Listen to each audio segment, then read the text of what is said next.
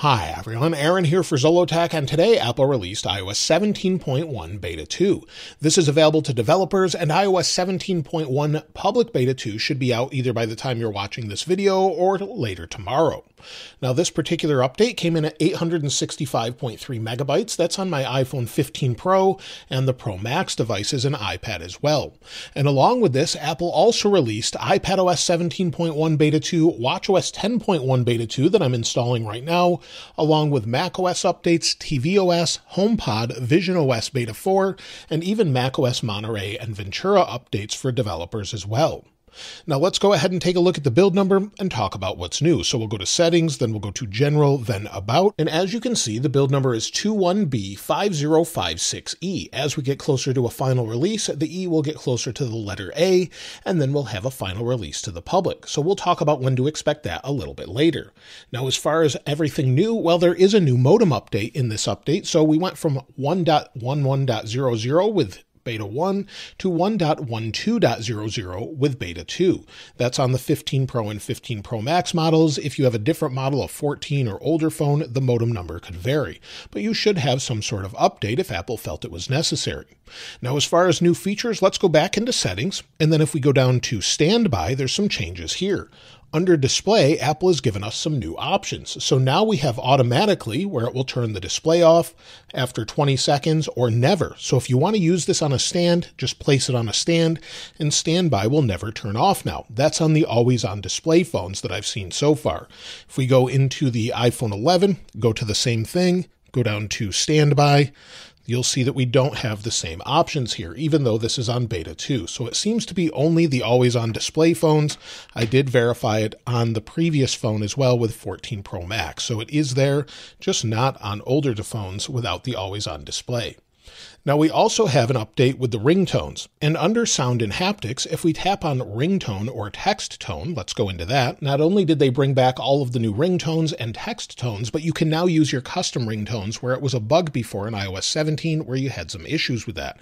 So that should have returned. And also the volume seems to be fixed. So if we play a couple ringtones here, play Daybreak, Dollop, If we go back, the text tones also seem to be a little bit louder. Now they might need to be turned up a little bit.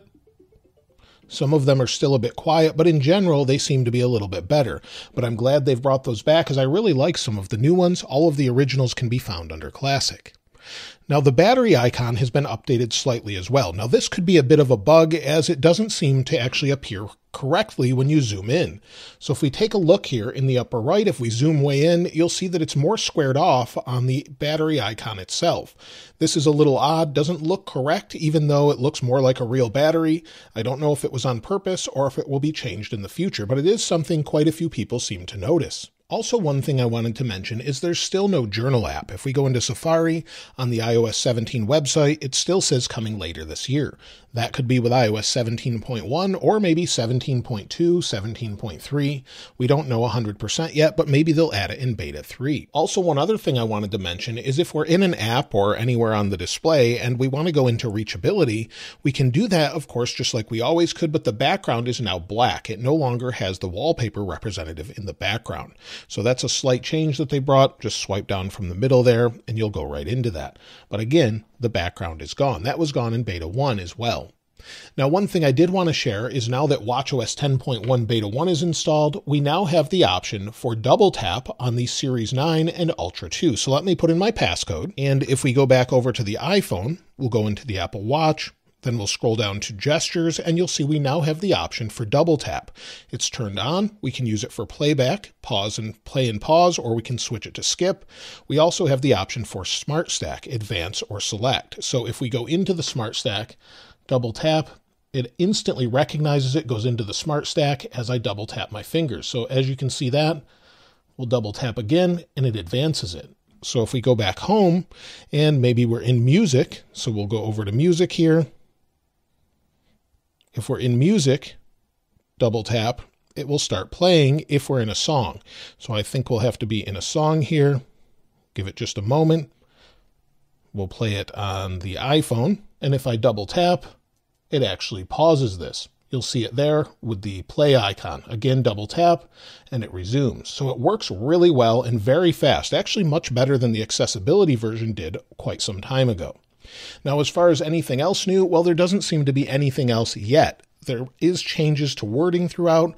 Unfortunately, they have not brought the battery update that we have with the iPhone 15 yet on older phones. So if we go into battery, we go to battery health and charging and then charging optimization. For some reason, they haven't brought the battery limit here with 80%. It makes no sense, but they just haven't updated it yet. They also haven't brought the charge cycles. And I checked on my 14 Pro Max, and the charge cycles are here on the 15 Pro, but not on the 14 Pro Max for some reason. They really need to bring that feature. Now, if we take a look at the release notes, we'll go into the feedback app. You'll see if we go into iOS 17.1 Beta 2, this is actually public facing. I'll link it in the description if you want to take a look. But you'll see it says resolved issues. There's actually three now. The first two with widgets and the SK ad network was there before, but StoreKit is actually new where they fixed an issue with the completion block in load product. So if you're programming this with StoreKit, it should have resolved that. However, there are still 10 known issues with Apple Wallet and Apple Pay. So some issues there for sure that of course they'll work out with the next betas or maybe one after that. One thing they haven't worked out though is the notification bug. It's still there, and that was really slow when I swiped down that time. There was some stutter there, definitely an issue, and also if we swipe and bring the screen down, it actually looks like they fixed this issue where it was quite slow before. They fixed that frame rate with this beta.